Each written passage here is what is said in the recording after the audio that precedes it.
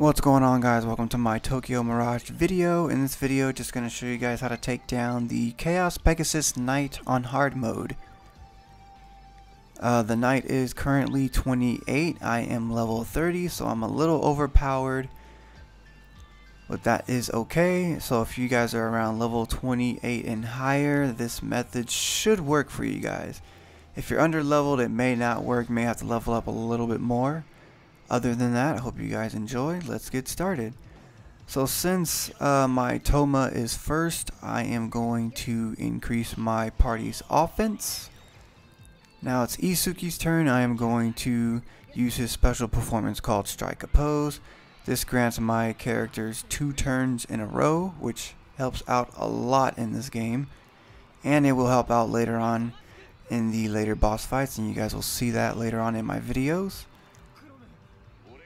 So now my second turn, I am going to decrease the enemy's defense so I can optimize my damage.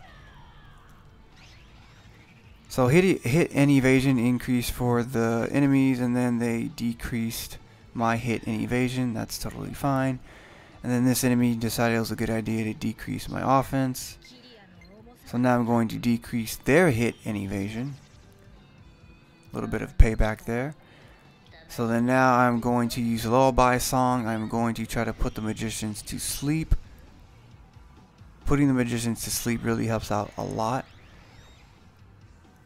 Their offense increased. I don't really care for that. The putting the, the magicians to sleep really help out a lot because they hit you a lot with their magic and their magic hits everyone. So it's very annoying. So increase my offense again. So now I'm going to use full throttle and gonna get that guaranteed critical hit. So this is this is gonna do a lot of damage. Plus the sessions are gonna kick into as well. They're gonna do a pretty good amount of damage as well. Got the critical hit there, which was nice. So now I'm going to use Thunder since Thunder is the main boss's weakness. And then of course get that good session combo going on there too as well. And then what I'm going to do next is I'm going to use Attack Mirror to repel the Pegasus Knight um, normal attacks. So there's one, here's another. And then now I have to take this damage from the other enemies. That's totally fine because it didn't hurt that badly. Thank goodness I am over leveled.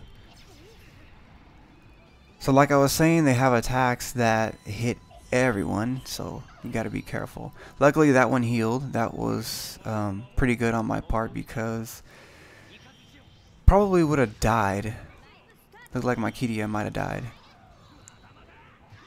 But didn't really care for the heal because the boss is going to die this round anyways. So now I'm going to use Attack Mirror to, to repel the Chaos Pegasus Knight attack.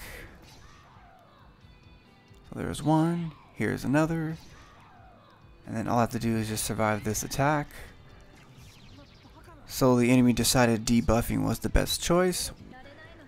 So now I'm going to use the Thunderstone since I don't have any Thunder magic with Kiria. And then this is going to be it, you guys. So hope you guys enjoyed and I will see you guys later.